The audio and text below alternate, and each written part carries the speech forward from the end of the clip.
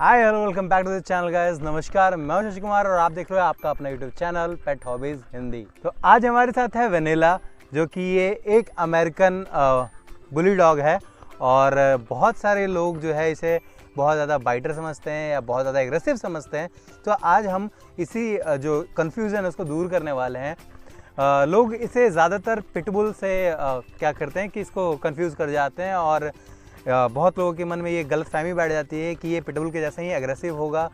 ये एक family dog नहीं हो सकता है बट आप जैसा कि देख सकते हो ये बिल्कुल ही फैमिली डॉग है।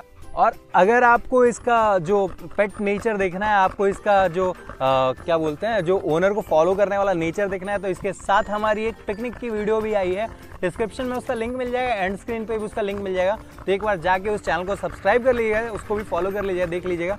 हमारी ये पेट डॉग किस तरह से हमारे पिकनिक में हमारे साथ जाता है, किस तरह से हमारा कंपेनियन बन के रहता है। और ये देखिए, काफ़ी अच्छा शोल्डर है, मुझे तो बिल्कुल लग ही नहीं रहा कि मैंने एक डॉग के कंधे पे हाथ रखा हुआ ये बिल्कुल एक अच्छा कंपेनियन बन जाता है आपका। और मैं जैसा कि हमेशा से कहता आ रहा हूँ, ये बहुत सही ब्रीड है। लोगों को इसके साथ कंफ्यूज बिल्कुल नहीं करना चाहिए, और जो लोग मांग कर रहे हैं कि इसको बैन कर दो प्लीज़ ऐसा बिल्कुल ना करें। ये बहुत अच्छे डॉग्स होते हैं। तो मेरी रिक्वेस्ट है कि एक बार हमारे पिकनिक वाले वीडियो को ज़रूर देख लीजिएगा। आपको डिस्क्रिप्शन में भी उसका लिंक मिल जाएगा और कमेंट में बताइएगा आपको हमारी ये वेनिला कैसी लगी। और अगर इसके बेबीज़ आपको चाहिए तो ज़रूर हमसे कांटेक्ट करिएगा। अगर आपके घर में कोई चोर घुसता है तो ऑब्वियस बात है, इसके डेंजरस लुक को देख के उसकी हवा टाइट हो जाएगी बट अगर आप एक डॉग ओनर हैं एक डॉग लवर हैं एक पेट लवर हैं तो आपको पता होगा कि ये बिल्कुल भी एग्रेसिव डॉग नहीं है। इसे पिटूल के साथ तो बिल्कुल भी कंफ्यूज मत करिएगा। और बहुत सारे ओनर्स के साथ ये मिस्टेक हुई है बहुत सारे डॉग बायर्स के साथ ये मिस्टेक हुई है कि उन्होंने आ, इसे भी आ, घर से बाहर निकाल दिया। ये समझ के कि जैसे पिटबुल ने अपने हाल फ़िलहाल में जो न्यूज़ आई थी कि अपने ओनर के ऊपर ही हमला कर दिया था उसी तरह से कहीं ये भी उसी तरह का एग्रेसिव डॉग ना हो उसी तरह से ओनर्स के ऊपर हमला ना कर दे। बट ऐसा बिल्कुल नहीं है। और आ, मेरी माने तो ये एक बहुत अच्छे नैनी डॉग भी हैं। अगर आपके घर में एक बच्चा है छोटा बच्चा है तो ये उनके साथ काफ़ी हद तक घुल मिल के उनकी केयर करेंगे। अगर आपने कोई भी छोटा बच्चे इसके साथ छोड़ दिया ना तो ये बिल्कुल सेफ़ रहेगा। बट हाँ अगर आप एक न्यू डॉग लवर हैं या नया नया आपको ये हॉबी जगह है आपके मन में तो ये रिस्क डायरेक्ट मत लीजिए। जब तक आप एक डॉग के नेचर को नहीं समझते हैं, और मैं हमेशा से कहता हूँ, अगर आप एक डॉग को नेचर को समझते हैं तो आपके लिए सारा डॉग ब्रीड बिल्कुल ही लैब्राडोर के जैसा हो जाता है। जिस तरह से आप लैब्राडोर के साथ कंफर्टेबल हो जाते हैं, वैसे ही आप हर डॉग ब्रीड के साथ कंफर्टेबल हो सकते हैं। आप जैसा देख सकते हो, ये कितनी आसानी से, और ये देखिए कितनी मासूमियत से मेरी तरफ़ देख रहा है क्या आपको लगता है इसे देख के कि ये आपको बाइट कर देगा या आपकी फैमिली को इससे कोई नुकसान है? ऐसा बिल्कुल नहीं है। ये देखिए, मैं इसके चेन को भी अगर मैं हटा देता हूँ तो इसको चेन की कोई ज़रूरत नहीं इसको लीज की कोई ज़रूरत नहीं है। जितना आपका एक जर्मन शेफर्ड आपकी बात मानता है, उससे कहीं ज़्यादा।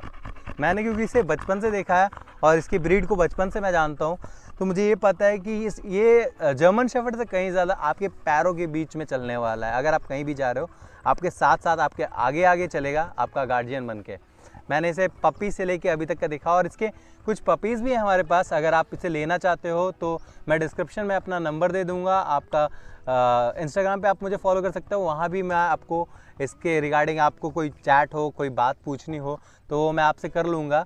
ये देखिए, इसे अभी जैसे खाना महसूस हो रहा था ये मेरे हाथों की तरफ़ आ रहा है। और यकीन मानिए, मैं जब इसे रोड में लेके घूमता हूँ तो लोग ये सोच के डर के हट जाते हैं कि भाई इतना खूखार दिख रहा है। बट हमें रियलिटी पता है कि ये ऐसा कुछ नहीं करता है। और सिर्फ़ ये इसकी बात नहीं है। आप किसी भी डॉग ब्रीड को अगर आपने बचपन से पाला है आप उसे सोशलाइज करते हो वेल तरह से ग्रूम करते हो तो आपके ऊपर एग्रेसिव नहीं होने वाला है। और आ, मेरी रिक्वेस्ट है लोगों से जो अपने डॉग को डिसोन कर दे रहे हैं कि प्लीज़ ऐसा बिल्कुल मत करिएगा ये बिल्कुल भी बिल्कुल भी पिटबुल से कंफ्यूज मत करिएगा और इसे डिसोन करने की गलती मत करिएगा। बहुत ही प्यारा पपी है। अब बात करते हैं इसके खाने पीने की तो खाने पीने में ये बिल्कुल सही है, इसके ऊपर कोई नखड़ा नहीं है, कोई खर्चे नहीं है, ज़्यादा ये पेट फ़ूड पे आराम से रिवाइव कर जाते हैं। ये देखिए, ये थोड़ा सा थोड़ा सा चबी हो गया है और पिटबुल और इसमें यही फ़र्क है कि पिटबुल थोड़े ज़्यादा एक्टिव होते हैं, बट आप एक लेज़ी ओनर हो जो नाइन टू फाइव जॉब कर रहा है और उसके पास ज़्यादा वॉक कराने का टाइम नहीं है तो इन्हें उतनी एक्सरसाइज की भी ज़रूरत नहीं होती है, ये मिनिमम एक्सरसाइज में भी अपने आप को काफ़ी हद तक कंफर्टेबल कर लेते हैं। हाँ इसके साथ गर्मी की प्रॉब्लम आती है, देखिए किस तरह से ये हाफ़ रैप साउंड सुन सकते हो इसके हाँफने का। तो ये प्रॉब्लम थोड़ी सी आती है बट वो आपके रख रखाव के ऊपर है। अगर आपने बचपन से इसे एक्सरसाइज बिल्कुल नहीं कराया है बहुत ज़्यादा चबी कर दिया है तो हो सकता है कि आपका डॉग एक किलोमीटर में ही थक जाए और अगर आपने इसे चबी नहीं किया है आप रेगुलर एक्सरसाइज करा रहे हो तो हो सकता है कि आप इसे बहुत दूर तक काफ़ी दूर तक इसके साथ ट्रेनिंग कर सको। इसके साथ आ, बिल्कुल ही वो फीलिंग भी आएगी आपके पास कि आपके पास एक पिटबुल है वो वाली फीलिंग भी आएगी एक अच्छे गार्ड डॉग की फीलिंग आएगी और ये काफ़ी अच्छा पेट डॉग नैनी डॉग भी है। गाइज़ अगर आपको इसके बेबीज़ लेने हैं तो मेरे पास इसके बेबीज़ भी हैं तो प्लीज़ मुझसे कांटेक्ट कर लीजिए। मेरा नंबर डिस्क्रिप्शन में दिया हुआ है।